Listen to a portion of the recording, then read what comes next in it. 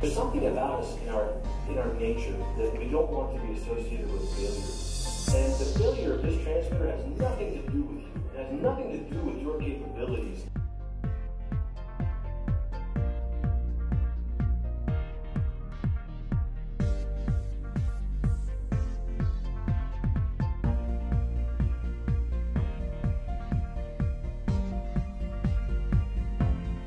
name is George Lister. I'm an instructor at Del Mar College. I teach instrumentation in the process technology department.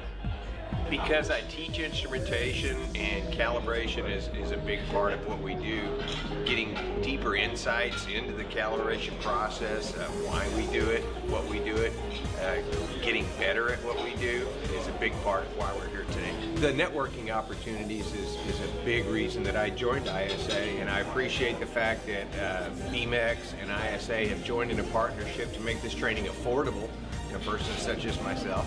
I'm here to have fun, meet people, enjoy the show, pick up little nuggets as I go along. My name's Carl Seal, and I'm a process control engineer with Celanese Chemical. I came here today to kind of learn a little bit more about what our instrumentation people have to deal with on a day-to-day basis and get like a better perspective overall.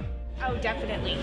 Come, come to these events. You have to continue your education constantly because technology and everything changes. The instruments behind it, and that's exactly what the, ISA is providing here: is continuing education. It's learning from all these people and all these professionals here that have 40 years of experience. It's unbelievable.